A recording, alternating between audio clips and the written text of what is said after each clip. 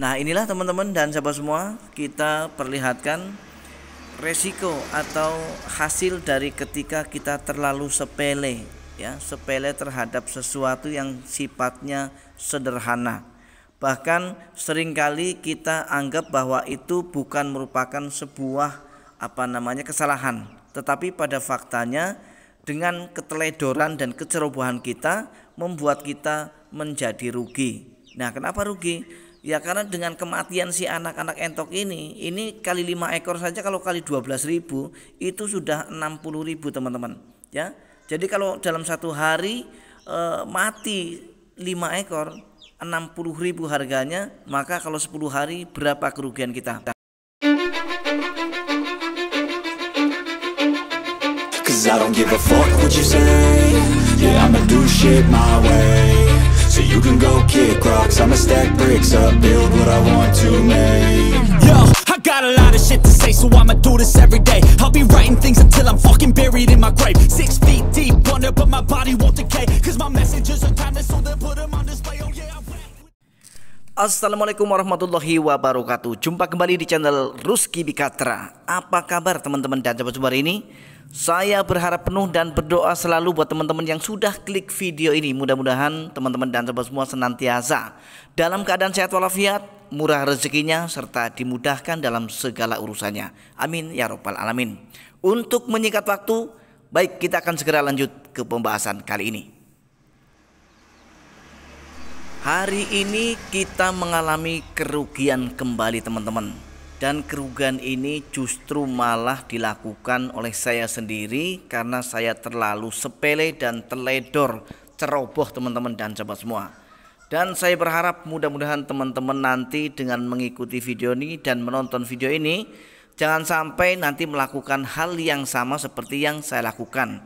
Karena ini memang benar-benar hal yang sangat sepele tetapi merugikan kita teman-teman dan sahabat semua. Nah langsung saja apa yang sudah saya lakukan sehingga mengakibatkan DOE ataupun anak entok saya kemudian bertumbangan dan mati seperti ini. Nah teman-teman ternyata setelah saya selidiki kenapa anak-anak entok saya kemudian pagi ini pada bertumbangan dan sekali mati itu lima ekor bukan karena saya telat kasih makan, telat kasih minum dan juga bukan karena saya salah kasih jenis pakan teman-teman. Nah tetapi kesalahan yang saya lakukan adalah saya mencampurkan DOE ataupun anak entok saya ini dengan anak ayam saya dalam satu kandang. Nah kenapa saya lakukan itu? Karena kemarin pada saat entok-entok saya menetas di kandang pembesaran entok ini sudah penuh dengan DOE karena belum e, saya jual. Sehingga mau tidak mau karena saya juga beternak ayam saya kemudian mencampurkan anakan entok saya dengan anak ayam ini yang usianya sudah e, 26 hari ini anak ayamnya. Sedangkan anak entok saya ini baru usia sekitar 3 atau 4 hari paling lama. Nah ternyata ini adalah petaka besar teman-teman dan sahabat semua. Jadi anak-anak entok saya kemudian banyak yang terpijak-pijak oleh anak-anak ayam saya ini. Sehingga mengakibatkan anak-anak entok saya kemudian satu persatu mati dan tumbang teman-teman. Padahal sangat sepele sekali teman-teman ya. Bahkan sama sekali tidak saya sangka dan tidak saya kira Nah kemudian untuk mengantisipasinya teman-teman atau untuk solusinya kemudian saya pindahkan atau langsung saya pindahkan ke kandang baru saya.